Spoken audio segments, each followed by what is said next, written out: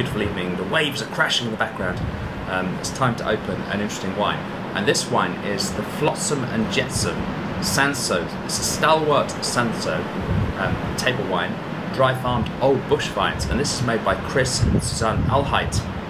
Um, and the idea behind this is to explore and preserve Cape's vinous heritage, to celebrate the underdogs and the oddities, and hopefully to show that workhorse grapes can make lekker wine.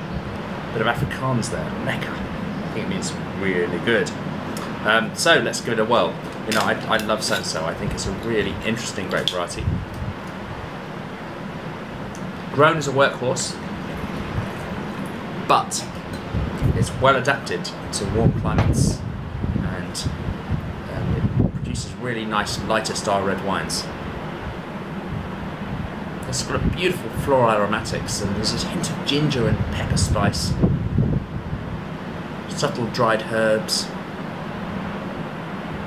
lovely sweet red cherries and plums.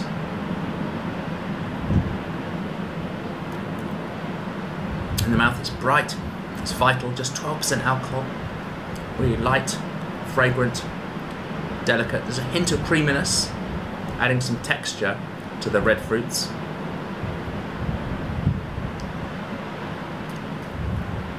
And some fine spiciness too.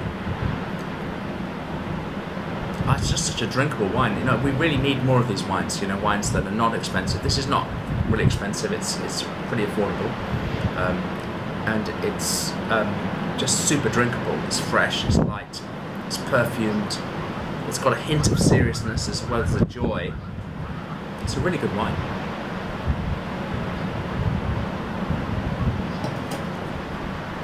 He said it had an hour or two's fridge time first, and I think that helps it. Just these wines are wines that show off really well when they're a little bit cooler. And I think this wine is delicious. Great effort. Very impressed. Anyway, thanks for watching. Bye.